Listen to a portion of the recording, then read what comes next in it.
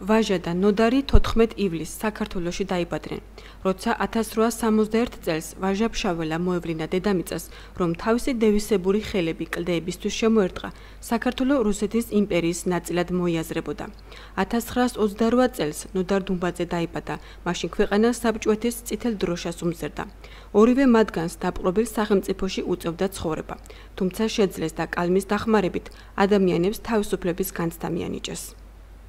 ნუდარდუმბაძე არის ჩემი ერთ-ერთი უსაყვარლესი წერალი, ასე რომ ვთქვა, ჯერ ბავშვობიდან, მე ანუ შუა ასაკიდან, რავი, მე მგონი ყველა ასაკის ადამიანისთვის არის ერთ-ერთი უსაყვარლესი ადამიანი და პირველად ჩემი ამ ორ უდიდეს გენიაზე შეიძლება ვთქვა, რომ ყველაზე მეტად რაც არის, რომ არა ადამიანურად შეიძლება უყურდათ ჩვენი ქვეყანა და იშვიათია დღეს ასეთი არა ადამიანური სიყვარული შეიძლება ითქვას.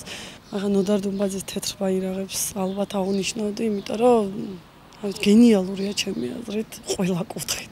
ცხოვრებისეული, ოჯახური, თუნდაც უხეშად რომ ვთქვა, ქუჩური ცხოვრების სტილით და ასე შემდეგ. და რაც შეეხება ვაჟაბშაველას, ალუდა ქეთელაური ალბათ ან სტუმარ მასპინძელი. რა ვიცი, გენიალურია ხარ არ შემილია რაღაცა კონკრეტული გამოუყო აქედან, იმიტომ რომ ეს ამან მასწავლა მე ცხოვრება სკოლის პერიოდიდან ძალიან ბევრი კარგი რამ თუნდაც იმ სტუმარ მასპინძელში, იმიტომ რომ ჩვენი სულიერი სიტუაცია იქ გადმოცემული. ანუ ქართული ჯიგარია ყველა მათ ნაწარმოებში ასე რომ ვთქვა და რა ვიცი, მინდა რომ ვისურვებდი რომ ესეთი გენიები კიდე ბევრი იბადებოდნენ ჩვენ ქვეყანაში. როგორც ვაჟაბშაველა, ასევე ნოდარ დუმბაძე, ციგნის მაღაზიის თაროებიდან არ ხრება, მუდმივად იბეჭდება ახალი გამოცემები და მკითხველიც ხელახალი ინტერესით ეცნობა მას.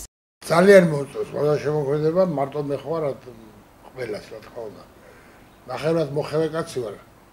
თის კაცი ვარ, ნახევრად და შეიძლება მიტო უფრო მიყვარს მისი პოეზია და მისი შემოქმედება.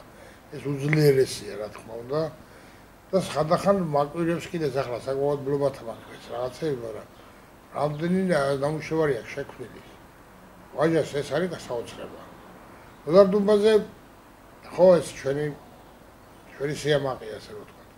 თავის უბრალოებით თავის სინამდვილით თავის სიყვარულით ისე ლამაზად ახსენს ყველა მოქმედებას უბრალოდ გეგონება რომ იქ ხარ რა ისი ყველა ქართველმა უნდა აღნიშნოს აუცილებელია.